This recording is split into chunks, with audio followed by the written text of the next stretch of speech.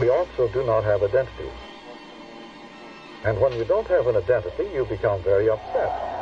And you become very violent in your quest for identity. Uh, 22, you're nine right. But we live in a very violent age. A violent age, Uh, 22, also. which is eager to find out who are we? What are we made of? And they haven't discovered anything so far. But fantasy is a substitute for identity. Your wildest fantasy. message. And fantasy is a substitute for reality.